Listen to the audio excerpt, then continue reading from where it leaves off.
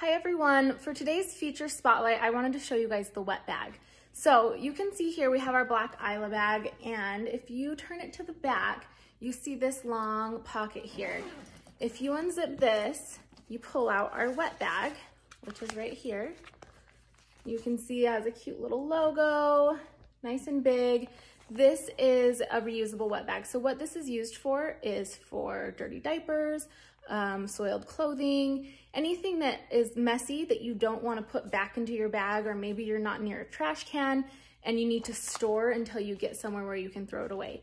Um, so the nice thing about this is I always pack it up before I go and I always put a change of clothes in it just in case because we all know that quite frequently we're stuck in a place where we have had an accident and we don't have a change of clothes.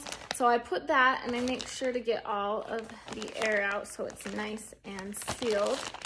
And then it fits nicely back in this back pocket.